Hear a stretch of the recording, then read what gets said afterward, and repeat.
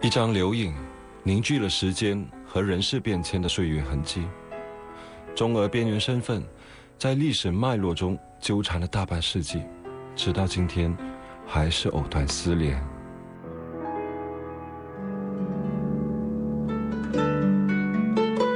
当地人的宗教信仰是中俄文化融合的缩影。华人小庙里供奉的是道教和佛教的圣贤神灵，也只是为了祈求生活的安定，万事能够顺顺利利。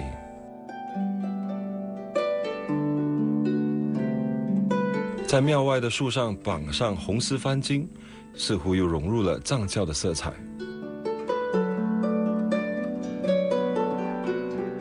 庙的旁边是一座小型的俄罗斯东正教堂，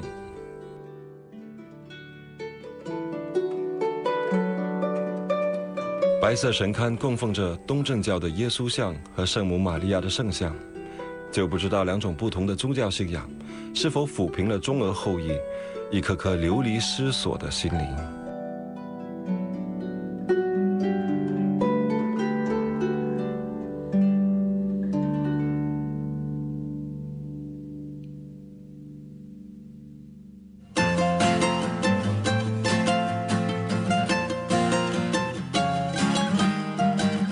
听说这里有位中俄年轻后代放弃了城市生活，回到家乡经营民宿，好想知道到底是什么原因促使这位年轻人回流呢？这就是你们客人住的房子吗？嗯，对。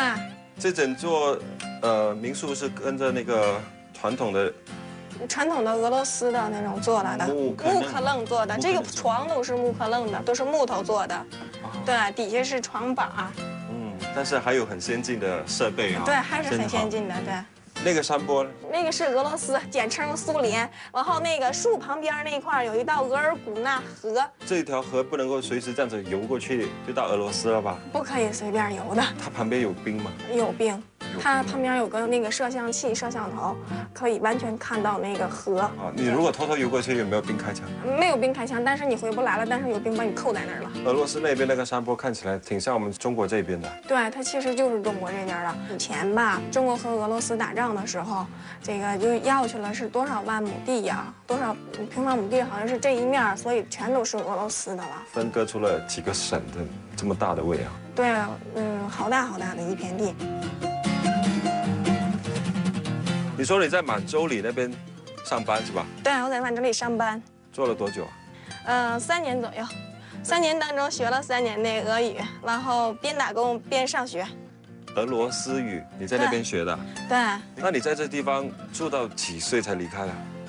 嗯，大概是六七岁左右吧，因为我们上学这地方特别不方便。六七岁上三年级的时候就必须在外地了。对我家不光是我自己，还有一个妹妹，小妹妹在外地上学呢。现在就是，对。那我觉得你的样貌就是有中国人的特征，也有俄罗斯人的特征，别人会不会以比较异样的眼光看着你？是。一般都说是我是俄罗斯人，因为你咱们自己看吧，感觉我不太像了。但是到那个满洲里那一面，基本上见到我俄罗斯人见到我都在说俄语，都把我当成俄罗斯人，很少把我当成中国人。中国人见到我，哎，你好，德拉斯维姐。我说啊，你好，德拉斯维姐。嗯，就这样子。那你小时候就住在这种旧的木坑呢？对，咱们结婚三年都在和我和我奶奶在一起生活。三岁以后了，啊，农村不都是那个结婚了必须得和那个老人在一起生活吗？过了一段时间，然后你才能自己分家出去吗？这样子啊，那你对这种木克弄的房子有特别的感情吗？有，因为它比我感觉它比楼房好，冬暖夏凉。楼楼房现在它不给气儿，它所以特别冷。尤其是我看那个房子，它后面是自己的一个田园嘛，可以种菜啊，做什么的。啊，对，可以种好多青菜，它都是不用上农药、不用上化肥的，是 纯天然的那种。又好吃又健康。对，又好吃又健康，人还活得长寿吗？您算是第几代了？四代。俄罗斯人他们叫老毛吗？对。第二代就是他们叫什么？二毛子，二毛子，都这么第三代三毛子，第四代四毛子，好像不是很礼礼貌。对，就是感觉我们听起来感觉好像是骂人似的，但是他们中国人就是叫起来就是特别顺口了。你跟他们说这么多，他们有的时候不理解你，反倒起一些冲突，怪不得不好的。本来人家不是那个意思，咱们自己误会了也不大好。那会不会就很？觉得很怪呢，这个边缘的那种文化、身份啊这方面，中国人 不大承认你，俄罗斯人又不大承认你的，因为这地方人一多了，自己感觉就是，哎，行啊，有个地方就可以了，给个地方就行了。所有的华俄后裔他都是这么想的，因为毕竟是血统的关系，整成两弄成两个国，一个中国，一个俄国，只能说是哎两国互相交易嘛，这样子。历史翻过沉重的一页，走过必留下痕迹，失去的、留住的都要珍惜。无论明天有多远，这当下一刻一定要活得比谁都精彩。